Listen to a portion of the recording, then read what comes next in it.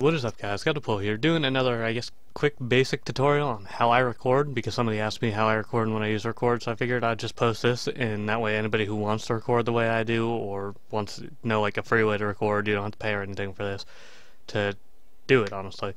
So, I use OBS, which, to download it, you go to obsproject.com slash download, and I don't use the uh, I don't use OBS Studio. I use OBS Classic. So ignore this part if you want to have the exact same UI and everything that I have, and scroll down to Classic. Download the installer and install it and everything. Once it's installed, you'll have something that looks like this, and this you can just see the paradox of me recording the OBS that's recording right now. So, but this is what the basic things look like. What you're gonna do is you're gonna go up to a profile. I can't click on it now. Click on um and click create a profile and whatnot, and then go to settings. And for your general settings, you're just gonna, you know, choose the profile you want, choose the language, all that. And then for your encoding tab, you're gonna want to go to like I use personally because I have an NVIDIA graphics card and I feel like it's easier on my PC. Even though I have a good PC, I use the NVIDIA NVIDIA NVENC encoder. You can use um, X264, and I'll show you the settings for that in a minute. But for my um, NVIDIA NVENC coder. I use UCBR and enable CBR padding, which is constant bitrate. And my bitrate I set to 25,000 just because with the um, NVIDIA NVENC, it's not the greatest quality unless you have a high bitrate set for it when it's recording. So, and it's not like hard on your PC if you have a decent graphics card. Like I used to use these um, settings when I had a 750 Ti, which I don't have anymore. I have a better graphics card now, but even with the 750 Ti, I was able to manage, you know, to use these settings to get good quality. For the audio encoding, I used AAC with 48 um, kilohertz and bitrate is 96 with stereo channel. Not like your bitrate's not really gonna matter all that much with this. For obviously use stereo because you don't want your thing coming out of one speaker. And that's the basics for uh, NVENC. Now, if you're gonna use X264 because say you don't have an NVIDIA graphics card or something basic like that, and you have like an AMD graphics card, you're going to still want to use your constant bitrate, but I would say set this anywhere from 4000 to 7500 because this encoder is not the easiest in your PC. It's not using your GPU, it's more using like your processor and stuff. So obviously you're gonna want the bitrate. This is harder on your computer, so the bit and it's higher quality. That's why you don't need 25,000 bitrate too. But 3500 to like 7500 is any kind of mess around with it in between there see what's good for your PC and not like killing your computer and stuff. I just personally prefer the Nvidia one because my graphics card is really good and it kind of just handles it really well. For you uh, for your broadcast settings you want to go it will start on live stream. You want to set it to file output only. And then for your file path choose where you want to set it to go and record and everything. Um, make sure you add .mp4 at the end of it that actually matters quite a bit is definitely set MP4 at the end of it or you can it can be really annoying to have the files and try to find them and sometimes they're not even in MP4s. For your video, obviously there's my graphics card. Choose your graphics card, whichever one you have. Your base resolution, set that. Now this is a big thing that helps people out.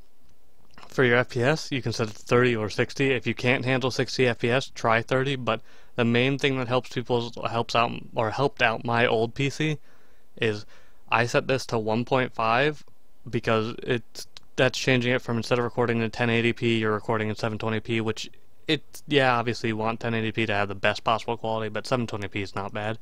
And set it to um Lanczos I think that's how you say it. Best um best detail 36 sample.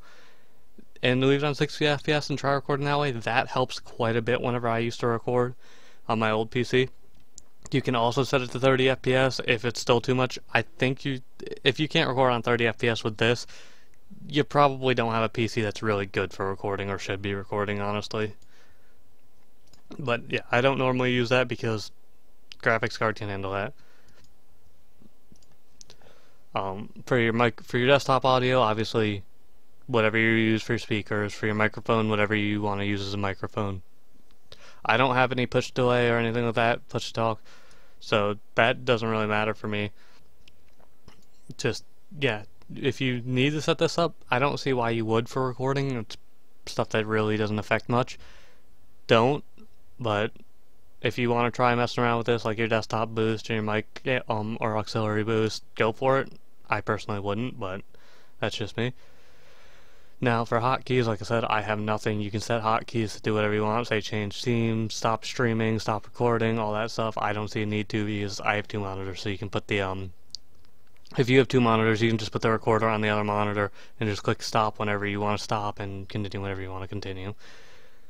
Now, for your advanced settings, these are settings that I went around and found that people use. The CFR or C yeah CRF right here this you don't have to put unless you're using the X264. This is for people who use the X264 format.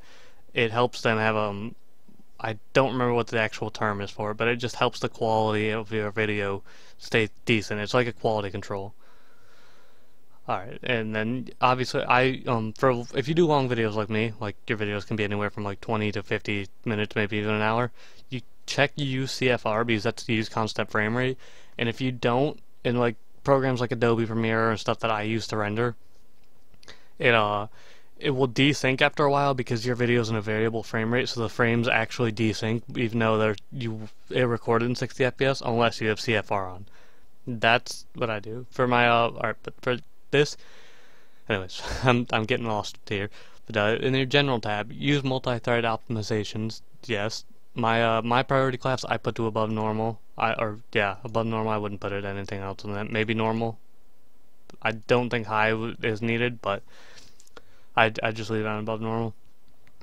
Other modifiers hotkey stuff that doesn't matter. Doesn't at all because I don't use hotkeys.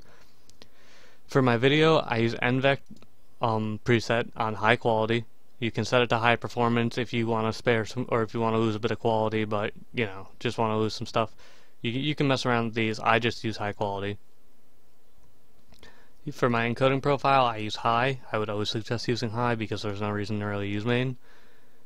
And that's pretty much it on the advanced page, and anything else here has nothing to do with it.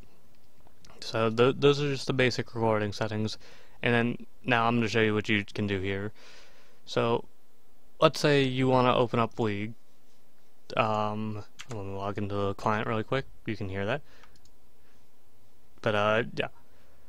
Let's say you wanted to log into um, League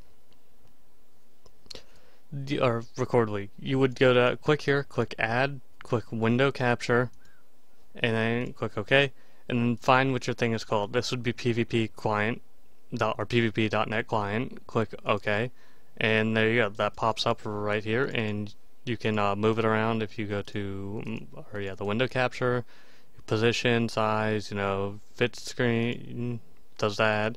You could also just, yeah, basic stuff. Now I'm going to remove this, so when you're, if you want to record in-game, you would have to start a game, custom AI, classic, blah, blah, blah, or, no, custom, darn not, god damn it, create game, create, come on, come on.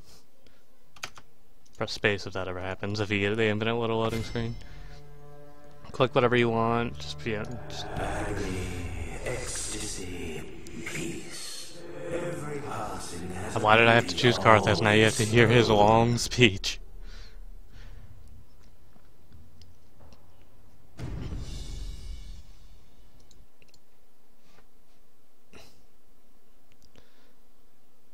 Alright, now the loading screen should be popping up in a, a second. There it is.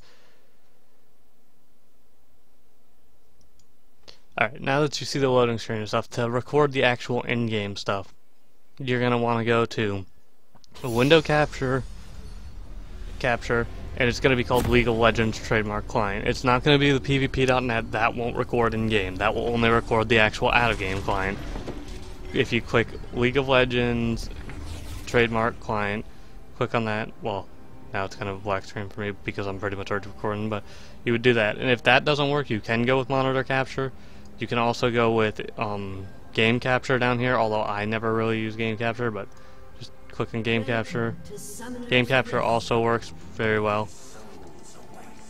Yeah, that those are just the basics of how you record. But um, now I'm going to cut over to Shadowplay and show people how to use Shadowplay if they can't use OBS because it Shadowplay is a bit easier, but you have to have an NVIDIA for this, definitely. There's no X264 like benefit or anything like that as far as I know. So yeah, now we're gonna delete this. Yes, I want to delete select scene. Alright. Um, exit game, leave game. Alright, now to use Shadow Play, you gotta get NVIDIA GeForce Experience. As you can see, GeForce Experience is right here. I'm just gonna drag this over to the side really quick. But GeForce Experience, once you log in, make your account, all that stuff, you click on Share Your Greatest Experience. Go to here's the recording. You can click on Settings right here. Blah blah, blah connect keyboard recording. That's all. That's how you get some of those settings done. Now, when you click Recording, click Customize you can click quality here if you think you can like change quality because custom you can choose frame rate between 60 and 30 and game resolution you can do 4k 1440p 1080p all that stuff you can go to choose the bit rate here and then once you just do that all you have to do is find out find out what you had your recording settings to or whatever you set your hotkey to and click record and that's pretty much the basics of this it, it's not really like hard or anything it's just, I don't prefer using it because I don't think the quality is as high as some other things, but it's not bad quality at all. But those are the basics, it's just how I record videos. Uh, if you want me to make another video, like, this was a 12 minute long video, even though I wanted it to be quick. If you want a basic, like, video on how I record things and stuff like that, or how I render my videos, I mean, not record, let me know and I'll do one of those. But yeah, this is just the basics of how I record. It's that's the quality I use and everything. That's all I do. But yeah, thank you for watching. If you want a follow-up video for render settings, let me know. I use Adobe Premiere. I will show you some basic stuff in there too if you want to see that.